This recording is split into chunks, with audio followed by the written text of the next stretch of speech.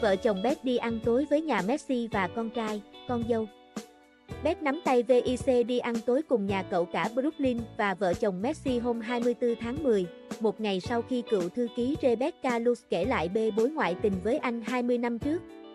Vợ chồng Beth tay trong tay rời khỏi nhà hàng khi xuất hiện lần đầu sau cuộc phỏng vấn độc quyền của cựu thư ký Rebecca Luz với tờ Daily Mail hôm cuối tuần. Rebecca lên tiếng khẳng định cô và Beth ngoại tình 20 năm trước. Người đẹp sinh năm 1977 chỉ trích Beth đóng vai nạn nhân trong bộ phim tài liệu Beckham mới lên sóng. Rebecca kể thêm có lần khi VIC nhờ tìm chồng, cô thấy anh trong phòng ngủ với một người mẫu Tây Ban Nha.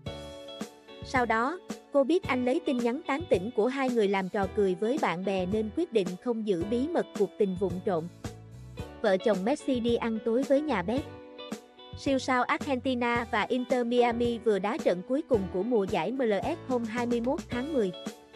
Cậu cả Brooklyn nhà Pep và bà xã Nicola Pep tham gia bữa tối cùng bố mẹ. Vợ chồng cầu thủ Sergio Busquets, đồng đội của Messi ở Barca và nay là Inter Miami, cũng có mặt. Trong ảnh, bà xã Elena Galera của Busquets mặc đồ trắng tương tự vợ Messi. Trên trang cá nhân, VIC đăng một số bức ảnh trong bữa tối cùng con dâu Nicola Pep và vợ Messi, vợ Busquets. Từ khi nhà Messi và Busquets sang Mỹ, cả hai có mối quan hệ thân thiết với gia đình chủ tịch David Beckham.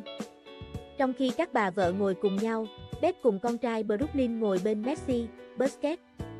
Beth và cậu cả Brooklyn.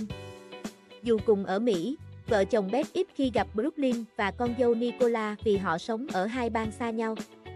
Các bạn hãy đăng ký kênh để cập nhật thông tin miễn phí mới nhất.